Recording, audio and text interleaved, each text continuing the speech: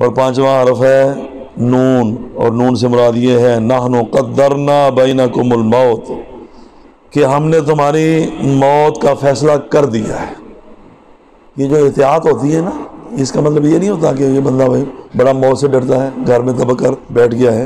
एहतियात के अपने अपने तकाजे होते हैं, वरना हर मुसलमान का ये अकीदा है कि मौत से कोई बच ही नहीं सकता।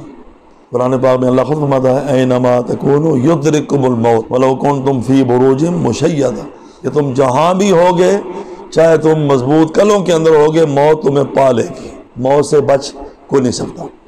जो काफर है, उसका सारा का सारा भरोसा जो है, वो इसबाब पर होता है। ये बातें कुरान पाक के अंदर मौजूद है। अलैहिस्सलाम ने बेटे को बुलाया तो उसने कहा, नहीं, मैं पहाड़ के ऊपर चढ़ जाऊँगा। पहाड़ इन सबब के ऊपर भरोसा किया।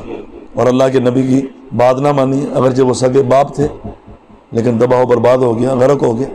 तो हम इसबाब को वहाँ तक की काम में लाते हैं, जहाँ अल्लाह और उसके रसूल की नाफरमानी ना हो। और जहाँ नाफरमानी होती हो, वहाँ हम इसबाब को छोड़ देते हैं। हम कहते हैं कि अल्लाह रसूल का हुक्म जो है वो सब पर मुकदम है। इसबाब पर अगर सारा भरोसा करेंगे, तकदीर को छोड़ देंगे तो ये भी बेईमानी होगी।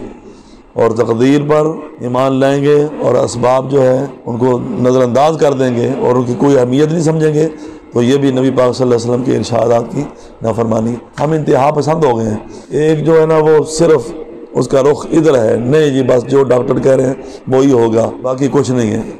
वो मुसबिल असबाब को भूल जाते हैं। और कई ऐसे सूफी दरवेश लोग होते हैं, वो कहते हैं, नहीं कुछ नहीं होता यार।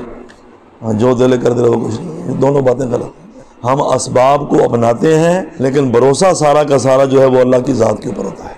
कि अगर अल्लाह ना चाहेगा तो सारी दुनिया मिलकर भी मेरा कुछ नहीं बिगाड़ सकती। ना इसको छोड़ा जा सकता है, ना उसको छोड़ा